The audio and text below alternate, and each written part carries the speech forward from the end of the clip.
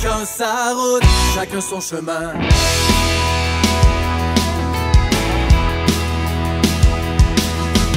Certains vont prendre la route sans savoir où aller.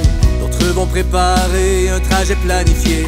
Qu'importe le voyage ou la destination, l'important est d'avoir un but et une mission. Voyager par affaire ou par nécessité, par loisir ou pour fuir sa propre réalité, pour voir des paysages s'ouvrir au monde entier et voler, s'envoler. À chacun sa route, à chacun son chemin, on prend tous des détours. L'on prenne l'autoroute ou bien les champs de blé, pour savoir où aller et pourquoi avancer?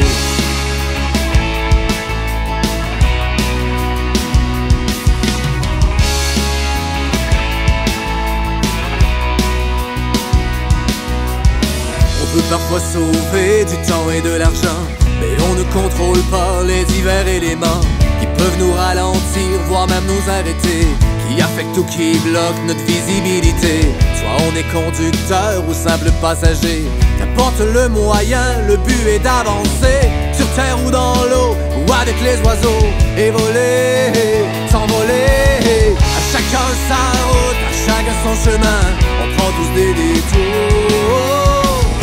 L'autoroute ou bien les champs de blé, on ne peut tout contrôler. Il faudra s'adapter.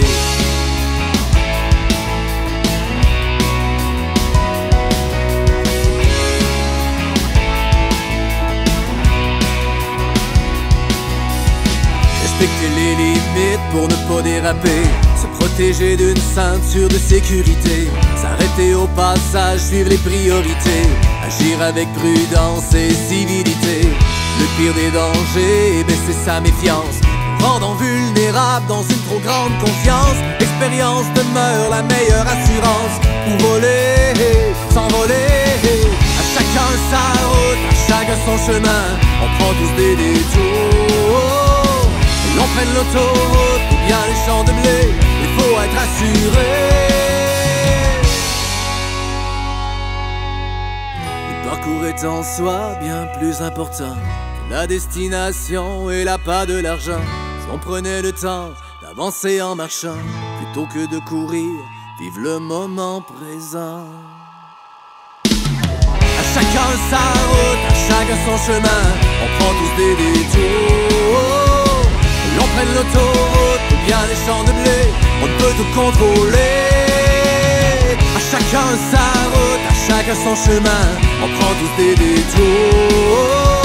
Que l'on prenne l'autoroute ou bien les champs de blé, pour savoir où aller.